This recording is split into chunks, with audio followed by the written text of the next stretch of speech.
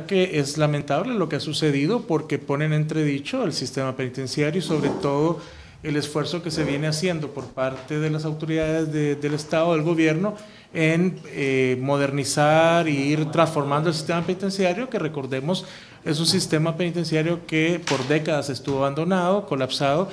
y que ha permitido precisamente lo que hemos visto, y es algo de lo que los mismos eh, eh, organismos internacionales como la Oficina del Alto Comisionado de Derechos Humanos,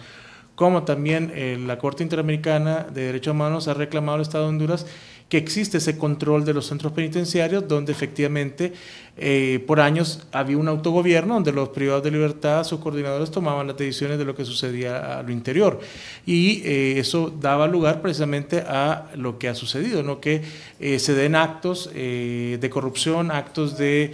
eh, participación de autoridades penitenciarias precisamente eh, en casos como esto que es lamentable la fuga de 23 personas que estaban eh, pues la mayoría ya condenadas y sentenciadas y que pues genera pues y pone en entredicho el sistema penitenciario y obliga pues a retomar y, y tener más recaudos precisamente porque no podemos permitir que el sistema penitenciario siga en estas circunstancias y es necesario pues afinar o tomar las medidas porque entonces esto nos demuestra que el proceso de rehabilitación y reinserción social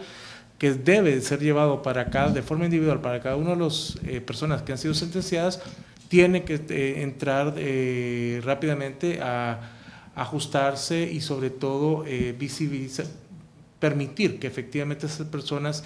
pues no sigan eh, eh, eh, dentro de esos centros privados sin ningún tipo de atención y que al salir pues sigan cometiendo, sigan siendo reincidentes. Ahora, las autoridades ya a este día deberían de dar información cómo fue que se fugaron estos privados de libertad. Pues obviamente están haciendo un proceso de investigación que tiene que ser profundo y que no debe acabar acá porque obviamente tenemos un nuevo sistema, ¿verdad? está el sistema de, de los nuevos centros penitenciarios donde hay control, donde el Estado controla prácticamente todo lo que sucede y estos viejos centros penitenciarios donde todavía eh, pues hay funcionarios que no han sido eh, procesos de un proceso de evaluación, de un proceso de investigación para evitar precisamente que se sigan dando pues algunos hechos que se han sido recomendados, para evitar ese autogobierno, evitar los beneficios para aquellos que pueden pagar estos beneficios, lo cual genera corrupción en, los, en el sistema penitenciario. Y en ese sentido, eh, pues eh, pedimos a, las autoridades respectivas que agilicen este proceso porque no, no se puede eh, seguir poniendo en entredicho el sistema, porque recordemos, hay un esfuerzo importante de los impuestos del Estado, se están haciendo inversiones importantes en nuevos centros penitenciarios y que este esfuerzo que se está haciendo para reducir precisamente ese, ese descontrol que había se siga dando y obviamente este hecho es, es, como reitero, lamentable y es importante que se señale a los responsables y se les sancione conforme a la ley, porque no puede, como reitero, no puede ser que personas salgan libremente de centros penitenciarios y que puedan poner en entredicho también la seguridad o ciudadana. ¿hubo complicidad, cree usted, de autoridad? Pues obviamente, si no se ha evidenciado y todavía no tenemos los informes, yo esperaría los informes, pero si no hay un túnel, no hay otras medidas, pues por dónde pueden haber escapado más que por la puerta principal. Y yo creo que es importante ese esfuerzo de que se haga una investigación y, y hacemos el llamado a la autoridad que sea lo más profunda posible, que así como la policía se ha venido depurando, el sistema penitenciario, los agentes penitenciarios deben ser objeto de un proceso de evaluación, eh, ya que hemos recibido constantes denuncias a lo largo y ancho del país de circunstancias en las que efectivamente ha habido, puede o, ha habido pues participación de autoridades dentro de los centros penitenciarios y obviamente se ha reportado todas estas denuncias, han llegado a la autoridad respectiva, tanto de la Fiscalía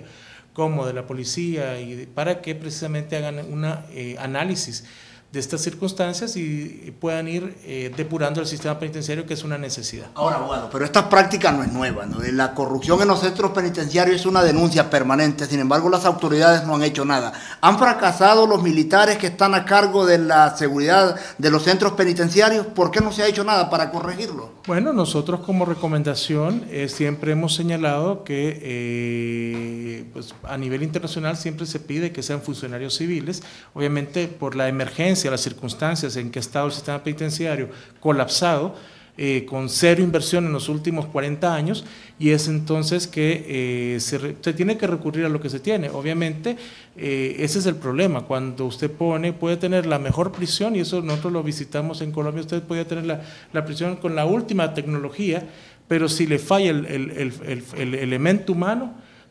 todas las medidas de seguridad que usted tenga le van a fallar cuando un elemento humano falle. Y en ese sentido, por eso es que este proceso de la modernización del sistema penitenciario tiene que ir también no solo con infraestructura, sino de la mano del personal que usted va a asignar. Obviamente,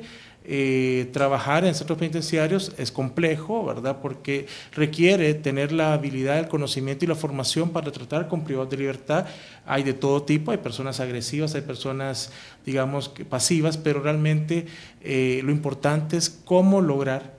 que el personal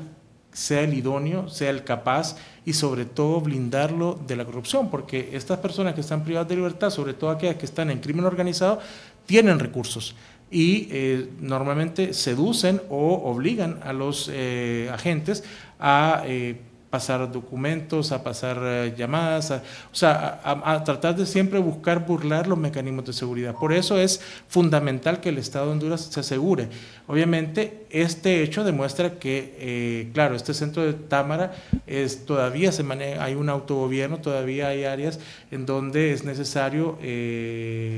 pues tomar acción como se hizo en San Pedro Sula y por eso ya el Moro se estaba listando para hacer traslados en el momento que corresponda. Pero eh, sí, efectivamente, lo que ha sucedido demuestra que hubo fallas, que hay elementos que eh, no cumplieron con sus obligaciones y la ley tiene que ser aplicada y estas personas tendrán en su momento que responder ante la ley porque no puede ser que, como reitero, el esfuerzo que hacemos todos los hondureños con nuevas infraestructuras, nuevo personal, se dé al traste cuando se dan este tipo de circunstancias donde privados de libertad pues salen y están ya en la calle. Y eso es, un, eso es, un, eh, eso es una, obviamente una, un tema urgente a tratar. El sistema penitenciario requiere, obviamente, todo este esfuerzo que se viene haciendo, pero Obviamente, como ustedes ven, hay elementos que no se pueden dejar y es el tema de recurso humano que hemos señalado, la importancia que el recurso humano sea evaluado permanentemente, sea eh, supervisado para evitar lo que ha sucedido este, esta semana pasada.